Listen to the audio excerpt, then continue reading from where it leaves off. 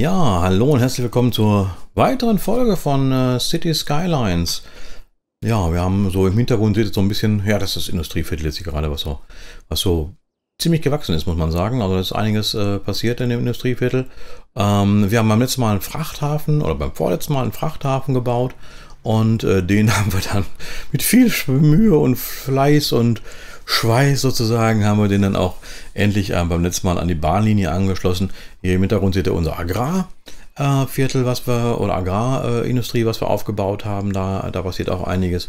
Und ähm, ja, ähm, wir gehen mal in das Spiel rein und schauen mal ähm, quasi ähm, auf, die, auf die Flächen. Wir brauchen ein bisschen Dienstleistung quasi. Also äh, da muss ein bisschen was passieren. 13.000 Bewohner haben wir jetzt aktuell. Also hier, ne, das war der Frachthafen beim letzten Mal, wo wir dann endlich dann auch eine Bahntrasse dran gedengelt haben. Das war ein, äh, äh, ja, das war äh, schwierig. Sagen wir es mal so, schwierig. Ähm, einen Zug habe ich noch nicht gesehen. Ich hoffe, der kommt auch bald. Und hier fahren auf jeden Fall die, ihr seht hier, die, äh, die Leute fahren jetzt hier zum Frachthafen, auch bringen ihre Sachen da hin und weg. Das ist schon mal ganz schick. Hier so ein Traktor kommt zum Beispiel da gerade rausgefahren. Gehalter durch, okay. Unser Agrarbereich ist ganz nett geworden, muss ich sagen. Laufen auch ein paar Schafe und Tiere rum. Was haben wir hier? Friedsfelder, jawohl, okay.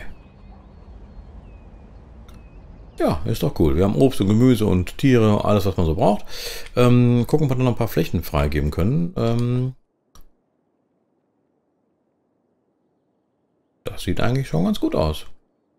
Das sieht eigentlich schon ganz gut aus. Da könnten wir eigentlich dann hier diesen Kreisel dann auch noch voll machen.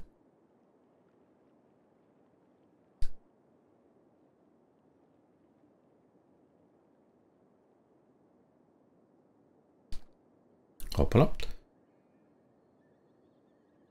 Ja, komm, machen wir das hier auch noch voll. Obwohl in der Außen will ich ja gar nichts haben. Soll nur innen sein. Innerhalb des Kreisels. Außerhalb ist da nichts. Glaube ich. So, das machen wir weg wieder. Okay. Ähm, hier kann aber noch weiter gemacht werden. Ihr seht so den gelben Untergrund so ein bisschen unter den, den gelben Feldern hier. Also dieses meine ich jetzt hier, ne, das ist äh, das Zeichen dafür, dass das eben ähm, für solche Flächen dann geeignet ist. Okay. Ähm, hier können wir auch noch ein bisschen was ausbauen. Unsere Dienst, unseren Dienstleistungsbereich hier, das lasse ich außen vor, weil das die, äh, die Ausfahrtstraße ist.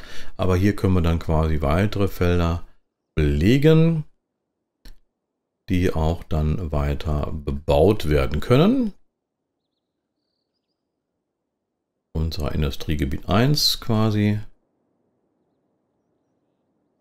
Drüben das Agrar, der Agrarbereich ist das Industriegebiet 2. Und ich gebe dann mal so peu à peu dann die Flächen, die Flächen, genau, die Flächen frei. Ähm, so wie halt äh, eben der Bedarf auch ist. Äh, und nach, ähm, nach Industrieflächen ist der Bedarf gerade relativ groß. Aber eben auch nach Dienstleistung. Und da haben wir hier unten ja so ein, äh, da ist es Dienstleistungs-Bio-Bereich gemacht. Ähm, würde ich jetzt tatsächlich äh, hier neben nochmal einen weiteren äh, Dienstleistungsbereich machen, aber dann eben ohne Bio, also normal sozusagen. Ähm, und dafür legen wir jetzt erstmal ein paar Straßen an. Das würde ich, das ich im Prinzip genauso anlegen, wie das da auch aussieht, damit wir das so ein bisschen auch, auch gleich haben.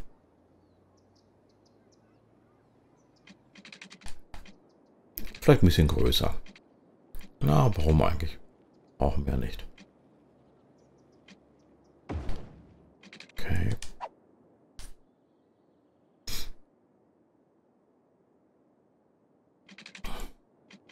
Hier gerade solche, solche Flächen in, in der Nähe der, der Bahn, das ist eigentlich ganz sinnvoll. Ähm, weil hier zur, zur Autobahn, Autobahn, nicht Bahn, zur Autobahn hin würde ich jetzt ja persönlich auch keine, äh, keine ähm, Wohnbebauung machen oder sowas. Ne? Das ist ja da irgendwie Mumpitz. Da hast du ja nur Probleme mit, mit Lärm und sowas, also das muss ja nie sein.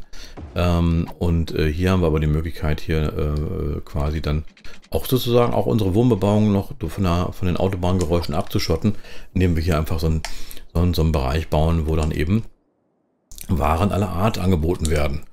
Und ähm, genau, und die setzen wir jetzt da rein. Das soll ein ganz normales äh, Viertel werden. Ähm, also da werden jetzt äh, quasi keine, keine, keine Spezialisierung sein. Auf der linken Seite haben wir, also ich muss erst noch, muss erst noch das Gebiet zeichnen. Auf der linken Seite haben wir gesagt, wir machen da eine, eine Spezialisierung für Bio- und Ökoprodukte. Ähm, und hier machen wir jetzt einfach das eben nicht. Also herkömmliche Produkte jeglicher Art. So, das Ganze bekommt natürlich auch wieder einen Namen. Und bei den äh, Industrie- und Dienstleistungsflächen und sowas, da äh, gebe ich keine normalen, also keine, nein, Thomas, gebe ich keine ähm, Namen wie Paul Baker Viertel oder sowas, ne? sondern da gebe ich einfach ähm, ganz normal einfach, ne, DL für, heißt für mich Dienstleistung. Ähm, wenn die eine Spezialisierung haben, wie jetzt hier links, ne, DL1, ne, ist das Bio, dann sehe ich das sofort. Oder ich habe hier hinten auch diese Fläche, habe ich äh, I2, also Industrie äh, Agrar genannt, dann weiß ich sofort, äh, aha, was ist denn da? Da vergisst man auch nicht. Oder hier oben IT zum Beispiel, äh, man vergisst das zwar äh, auch nicht, aber äh, dann ist das sofort ersichtlich. Und nur die, nur die, Straße, die Stadtviertel, die kriegen bei mir auch tatsächlich eine ähm, entsprechende, ähm, ja, ähm, Namen, ne? wie Paul Baker Viertel oder Agabus Quarter. Ähm,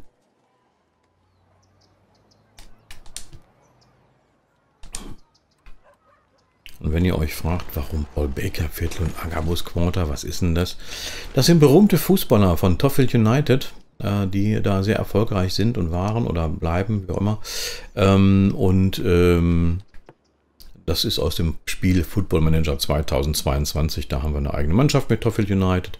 Und äh, Paul Baker und Agabus sind da, sind da Spieler, sehr erfolgreiche Spieler. Äh, gar nicht wahr. Paul Baker ist kein Spieler, fällt mir gerade ein. Paul Baker ist äh, Jugendkoordinator, also einer der Funktionäre des, der, des Teams. Ähm, und Agabus ist unser Torwart. Aber eben ne, haben sich für den Verein verdient gemacht. Und dann muss man das auch honorieren. Und äh, keine Sorge, die anderen, die jetzt noch nicht dran sind, ihr kriegt auch alle eure Viertel. Macht euch keine Sorgen. Auch das wird funktionieren, ich sag's euch. Ähm, so, ich habe jetzt hier bewusst äh, diese Fläche nochmal zwischendrin freigelassen, weil ich vielleicht da in die Richtung noch erweitern will. Äh, und hier mache ich das auf der rechten Seite aber auch nochmal eben kurz. Dann nehme ich nochmal wieder was raus.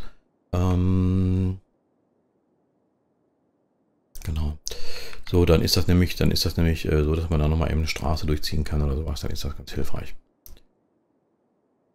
Ohne dass man die Häuser wieder abreißen muss. Ginge nämlich auch, um das mal so zu sagen. Das ist übrigens unser, unser ähm, asiatische Tankstelle und, und, und, Laden hier quasi. Tankstelle, Restaurant aus dem Asia-Gedöns. Äh, ähm, und hier drüben habe ich noch, äh, wo ich es? Da habe ich es. Äh, das ist der Asia-Laden. Das ist eigentlich ganz, ganz nett. Also das ist aus dem, aus dem ähm, spezielle Gebäude hier oben. Ähm, in, in, das ist ein Creator Pack und da habe hab ich die Sachen halt da drin. Man kann sie aber leider nur einmal benutzen und das ist ein bisschen schade eigentlich. Hier haben wir noch ein Nudelrestaurant, was ich noch bauen kann. Hier haben wir noch ein asiatisches Drive-In. Und hier hätten wir noch ein normales Drive-In. Das ist wahrscheinlich auch ein asiatisches, ne? Ähm, so ein Ding nehme ich doch jetzt mal und baue es mal nochmal hier hinten in unseren Fußballbereich, hätte ich beinahe gesagt. Ja, das ist doch gut. Machen wir doch. Die werden noch hier, die Fans werden noch da scharenweise reinrennen. So ist das doch gut. So ist das doch gut. Und da machen wir dann einfach auch noch ein paar kleine Lädchen daneben. Da im Hintergrund hört gerade Eishockey spielen.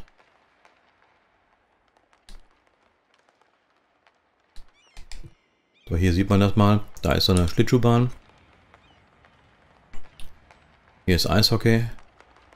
Und da ist äh, ja, ich wollte gerade sagen Jetski, Skibob quasi, Skibob fahren. Ähm, und äh, ja, das ist so ein bisschen die, die Area hier auf der Chris Thomas Road, auch ein verdienter Spieler von Toffield United. Ja, und das ist unsere Mannschaft hier und, und hier unsere Mannschaft auch unser Stadion. Äh, das William Wallace Field und äh, ich, ich gucke mal einmal hier rein. Wir haben das erste Spiel haben wir, ähm, haben wir tatsächlich verloren ähm, und das nächste Spiel ist am 24.04. 2026. Aber Spiel ist erst in drei Monaten, aber ein Zuschauer ist da. Warum auch nicht? Warum auch nicht? Und das ist die Peter Neururer äh, Arena, äh, unser verdienter Trainer von Toffield United. Insofern ist da auch was los. Ja, also hier passiert auch was. Hier ist auch einiges äh, geboten quasi. Und hier haben wir das Agrarviertel. Das ist also okay. Und hier, ähm, warum kommt hier keine Müllentsorgung? Das gibt doch nicht. So. Aber gut, hier fahren die Schiffe ran und raus. Okay. Aber ich habe noch keinen, noch keinen Zug gesehen, der dahin fährt. Kaum sag ich's. Da kommt er. Das gucken wir uns an, oder?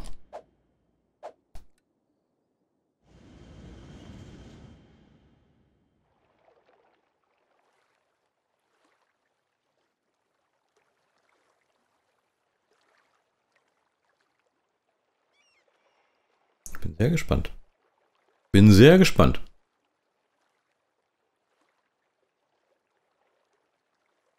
Ja, reingefahren. Lustigerweise verschwinden dann meistens die Züge, wenn sie dann entladen sind. So, da kommt er reingefahren. Das müsste eigentlich auch sich die Kräne oder sowas bewegen. Also zumindest die linke hier, meine ich, bewegt sich immer. Oder? Doch hier, genau. Da wird, ja, werden Container, nicht hundertprozentig, ne, aber werden Container runtergeladen. Und das ist das, was ich meine. So, und dann äh, verschwindet plötzlich der, die Container, Container einfach und dann fährt der Zug halt weiter. Ähm, manchmal verschwindet auch der Zug ganz, also das kann auch passieren. Ja, und auf der anderen Seite ist halt eben, das ist der, das ist der, der, der große Fracht, äh, ähm, Umschlagsplatz, glaube ich, heißt er. Äh, und hier kommen die Fahrzeuge eben meistens die, sag ich mal, die hier von den Agrarfeldern oder wo auch immer sie herkommen, die bringen ihre Waren hin. Das ist ein Kreuzfahrtschiff ähm, und da habe ich auch nochmal vor, ähm, ja, wir werden auch noch ein Kreuzfahrtterminal bauen. Ich bin nur noch nicht ganz sicher, wo. Ähm, ich hatte das ursprünglich eigentlich hier hingeplant. Mhm. Aber das macht jetzt mit dem Fracht und dem Agrar hier oben irgendwie mehr Sinn. Deswegen ist das, glaube ich, ganz okay soweit. Juti. Okay, das läuft. Ähm,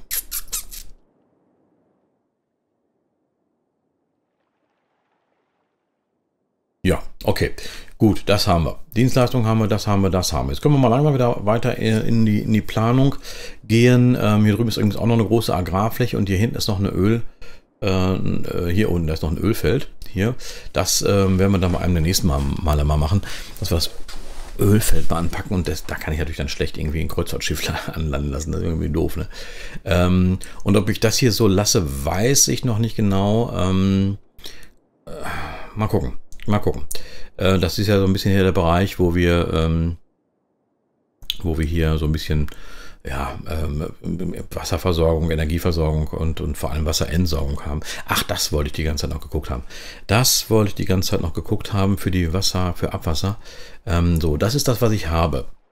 Verschmutzung eigentlich null. Ich habe doch den Ökowasseraustrit, oder? Ökowasseraustrit, ja, habe ich eigentlich, eigentlich genommen, den Ökowasseraustrit. Ähm, Verschmutzung eigentlich null. Lärmbelästigung okay 10. Was haben wir hier? Ökologische Abwasseraufbereitungsanlage. Die beste Wasseraufbereitungsanlage, die es gibt.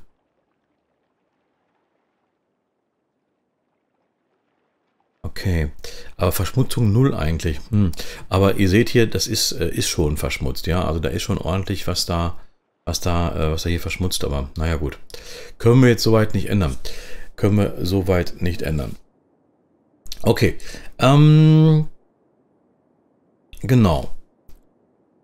Wohnflächen sind weiter nachgefragt. Das heißt, ich kann jetzt erstmal nochmal ins Agarbusviertel gehen und hier dann ähm, weitere Flächen hier zur Bebauung freigeben.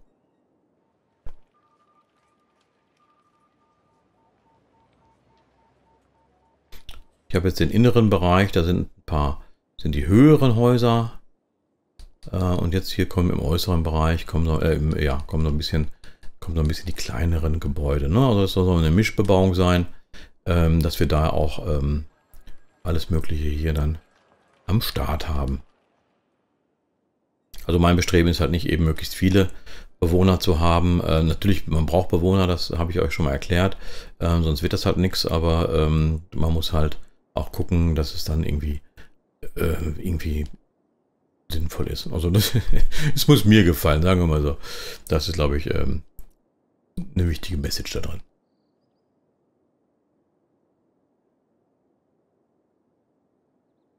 So, die Flächen gebe ich auch noch frei, diese in der Mitte hier und also dieser Straße, im Straßenbereich hier.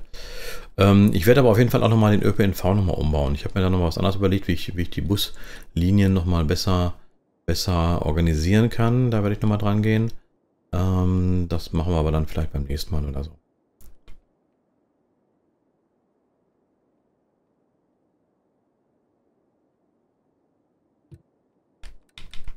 So, aber diese Übermalung hier, die muss ich wegmachen wieder. Denn da möchte ich dann das nicht haben. Vielleicht später nochmal mal gucken. Aber erstmal nicht. 14.000 Personen haben wir jetzt in unserer Stadt. Das ist schick. Ähm, und zwar, ich, kann es ja mal kurz erklären, was ich überlegt habe. Ich habe jetzt ja, wenn ich hier die Buslinien mir so anschaue, die Transportrouten, hier sieht man das so ein bisschen. Ähm, ich mache halt immer wieder denselben Fehler. Ne? Also ich habe jetzt hier oben an dem Bahnhof habe ich angefangen und dann fährt die Linie da rein und, äh, und raus und überall und rum und hin und zurück und so weiter. Ähm, so, da ist der Bus, diese Linie hier, genau, Buslinie 5 quasi. Ähm, ja. Aber es ist halt doof. Ja, ihr seht unten die Verteilung. Ähm, da, da oben seht ihr die Busse. Ja, da sind aber äh, 30 passen maximal in so einen Bus rein. Hier sind 13 drin, da hinten sind zwei drin und so weiter. Und darunter seht ihr die Haltestellen. Und dann seht ihr zum Beispiel ganz, ganz, ganz links sind äh, hier so 202 Leute, die an der Haltestelle warten. Ähm, das ist da. Ja, ähm, liegt aber daran, das ist ja logisch, wenn ich jetzt hier näher rangehe, dann seht ihr da die Leute, die warten da, sie warten nicht Wolf. Ne? Ähm, das liegt aber einfach daran, weil die, der Bus einfach, wenn er da einmal durch die Gegend kachelt, viel zu lange braucht.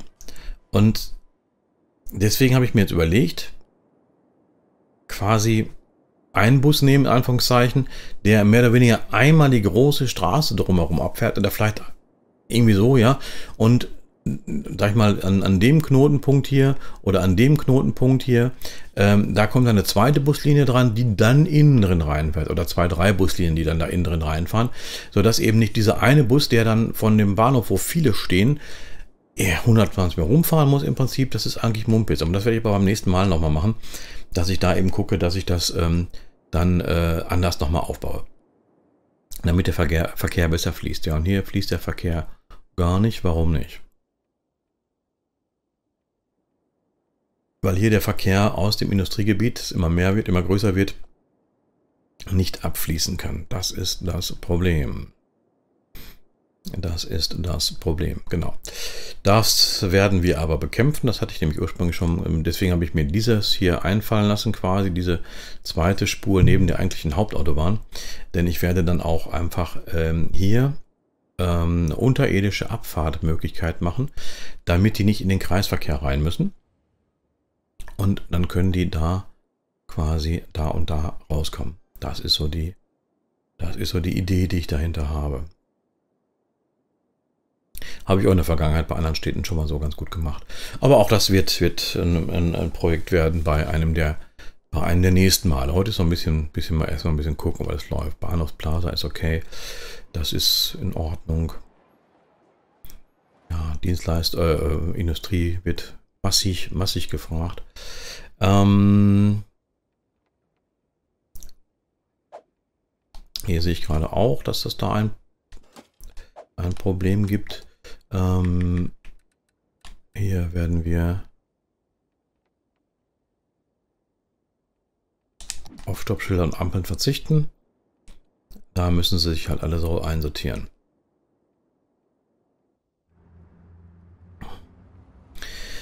Was passiert denn? Also äh, Fahrzeugmanagement ist ja folgendes im Prinzip. Ne? Also äh, von da kommen zwei Straßen. Also nein, von der ähm, kann, kann, man die, kann man die Maus sehen? Mal eben kurz gucken. Ja, genau. Also hier kommen ja, geht man hier ran. Hier kommen zwei Straßen, hier kommen zwei Straßen, hier kommen sechs Straßen. Auf eine sechsspurige Straße. Ähm, ist natürlich schwierig. Ist natürlich schwierig.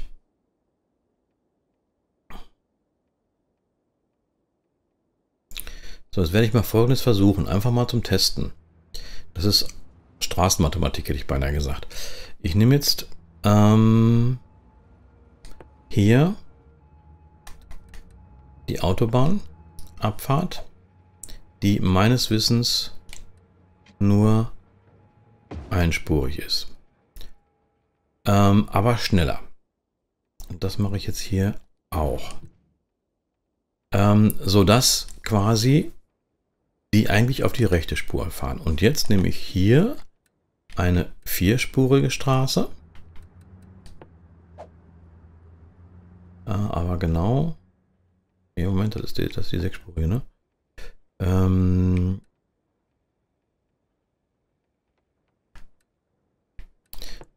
aber ja, eine vierspurige Autobahn. Verbessern und verbessert das Stückchen hier. Das Stückchen hier. So, und jetzt müsste von der Mathematik her, hätte ich beinahe gesagt. Ja, das passt schon nicht ganz. Okay.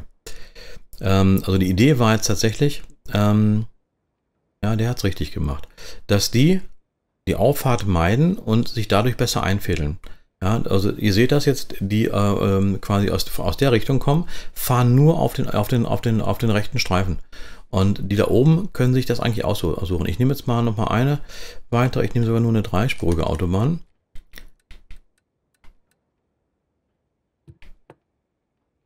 Das ist die dreispurige Autobahn. So, und verkürzt das nochmal einmal. Ähm, sodass wir eigentlich nur fünf Spuren haben, die kommen und auf sechs Spuren führen. Müsste eigentlich funktionieren. Müsste eigentlich funktionieren. Und damit Sie noch ein bisschen Gelegenheit haben, sich äh, mehr drauf einzustellen, verbessern wir auch den Teil hier nochmal auf dreispurig.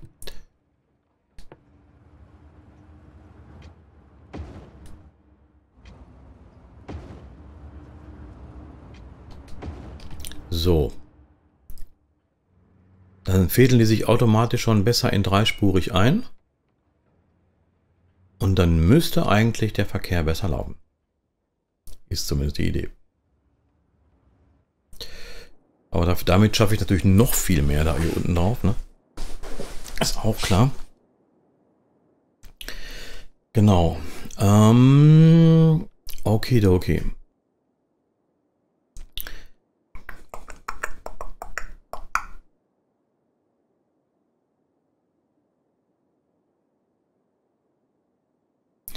So, da werde ich jetzt eine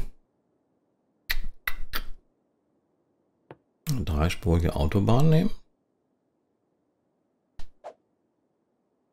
Gerade.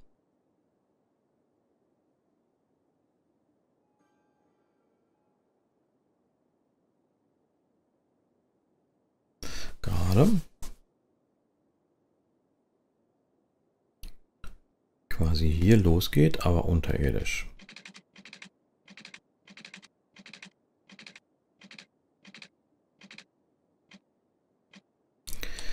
Okay, das geht nicht ganz. Ich kann auch eigentlich hier lang führen. Das ist eigentlich... Äh, machen wir es andersrum. Führt hier längs unterirdisch.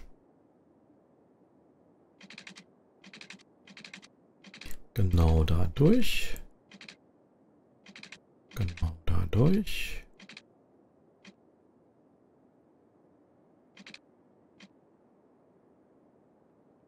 So.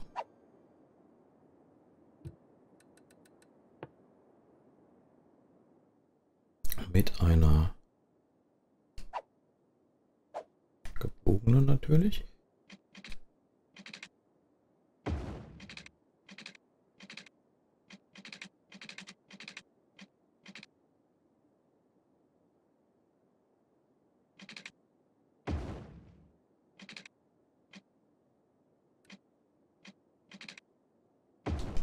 So, das heißt, da sind wir schon mal safe. Die können also da raus. Und die müssen von hier aber auch in diese Richtung raus. Das heißt, die können schon mal hier die Ausfahrt nutzen.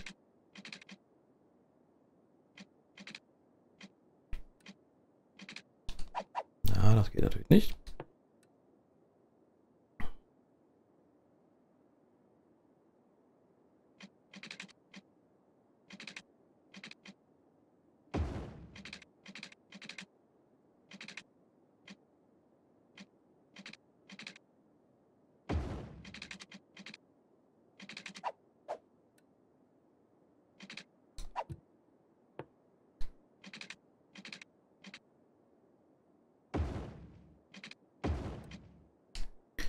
Nein, das letzte wollte ich nicht. So, da sollte er schon hochkommen.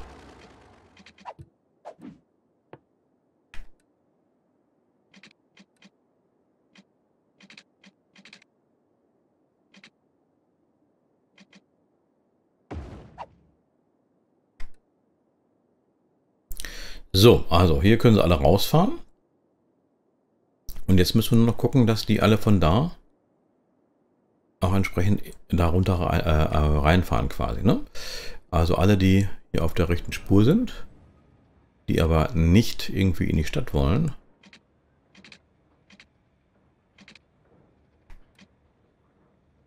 Die können dann hier gleich rausfahren. Nein, nein, nein, nein, nein, das wollte ich nicht. Ruhig bleiben, Thomas.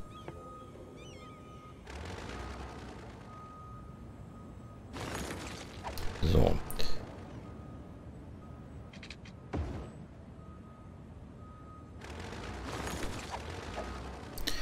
Das war der Fehler. Ähm, so.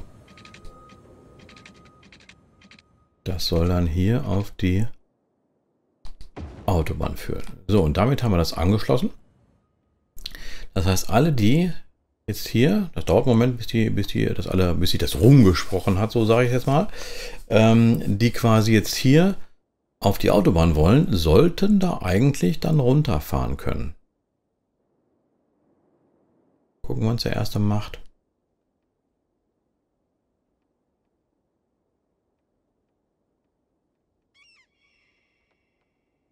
Ich hoffe, das funktioniert. Also, ähm, ne, da sieht man es nochmal.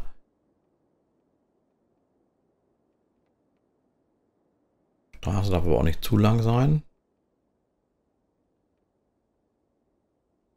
Und meistens ist das so, das dauert einen Moment, ja, und da, da ist der Erste.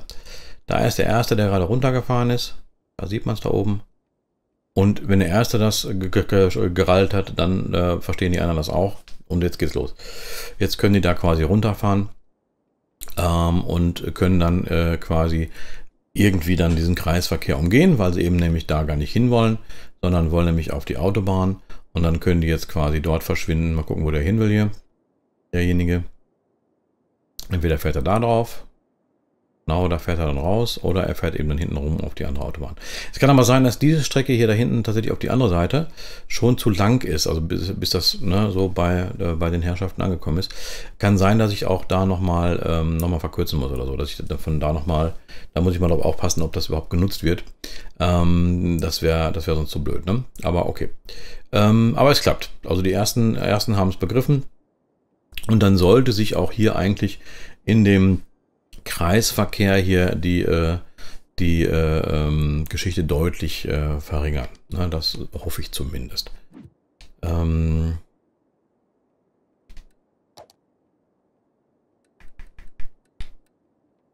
so, hier sieht man das nochmal, ne? Dann mal gucken, wo die jetzt hier hinfahren, hier unten drunter. Ja, die fahren da alle nur rechts raus, okay.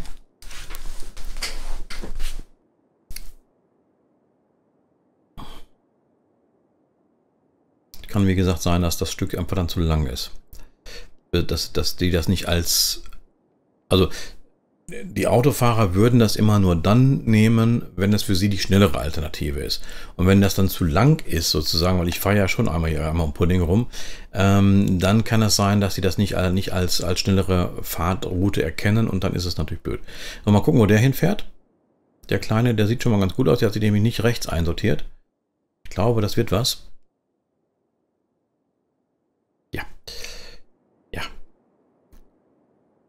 Da ist er, genau. Da fährt er her. Also es funktioniert. Das funktioniert äh, und jetzt müssen wir gucken, dass das auch äh, für alle, alle dann auch vernünftig läuft. Ähm, gut. Gut, ja, es sieht ein bisschen nach Verkehrschaos aus, aber wir kriegen das schon hin. das ist ja bei, bei äh, City Skylines immer das Problem. Ne? Irgendwann kollabiert der Verkehr und dann muss man sich kreative und lustige Lösungen einfallen lassen und äh, unterirdisch ist oftmals ein Thema. Gut, okay, ihr Lieben, ähm, das war's für die Folge von heute. Ähm, war jetzt nicht, nicht so viel äh, Spannendes, sag ich mal, aber trotzdem haben wir da auch ein bisschen was bewerkstelligt. Ich sage mal Tschüss und Ciao, ihr Lieben, bis zum nächsten Mal. Euer Toffi.